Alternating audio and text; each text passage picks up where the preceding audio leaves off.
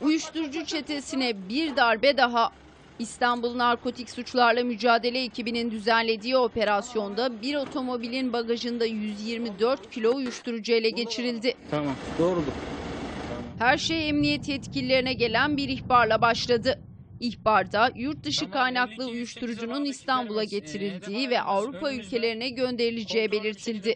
Bunun üstüne polis takibe aldığı aracı bir süre izledi. Bizi tehlikeye atmadan düzgün bir şekilde operasyonumuzu gerçekleştireceğiz. Polis Bağcılar'da kontrollü bir şekilde durdurduğu aracı bir anda sardı. İçindeki bir kişiyi de gözaltına aldı. O anlarda saniye saniye işte böyle kaydedildi. Arabaya al. Otomobilde arama yapan narkotik ekipleri bagajda koli içine konmuş uyuşturucuyu tespit etti. Bunda da var abi. Tamam. Doğrudur. Emniyetteki sorgusunun ardından tutuklanarak cezaevine gönderilen FB'nin ifadesinde kutuların içinde uyuşturucu olduğunu bilmiyordum dediği öğrenildi.